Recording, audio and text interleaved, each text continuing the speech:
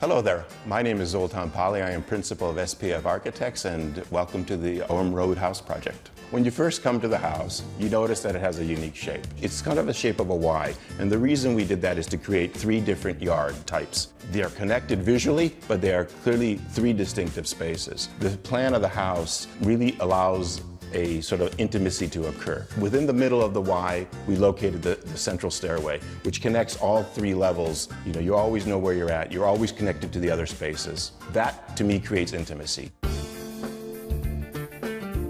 Here we are within the living room, and this is a prime example of what most of the spaces feel and read like. It has views on all three sides. You're always walking around the edge of the house. This is how you're mostly connected to the exterior. The way I see it is when you're moving through the house. If you follow the lines of the house, you are not only connected to the exterior, you're also connected to everything that you pass by, and of course, you end up at the kitchen and in the family area.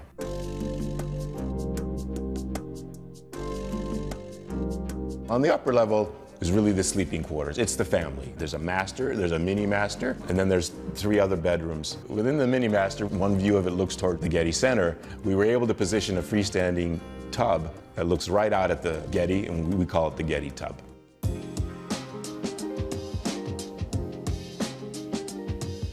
Master Suite is a 2,000 square foot, basically one large volume, where the bed, the closets, the bathroom elements, the, the tub, everything kind of floats within that space. And the master itself too becomes part of the exterior when you want it to be by the use of the sort of sliding doors that go away into the pocket. I can imagine that anyone who stays here might actually feel like the king of the mountain.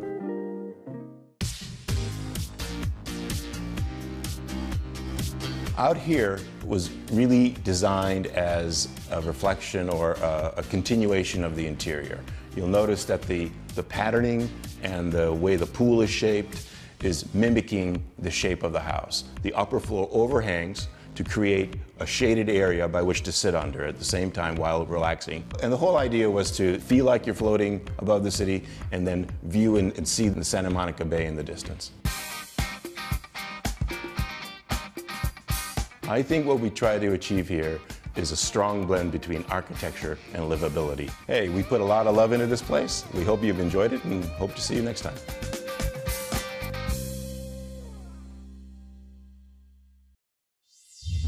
Thanks for watching. Like what you see on the show? Well, be sure to subscribe to our channel. We have so many more beautiful homes to share. It's all about love. Share these homes, you know?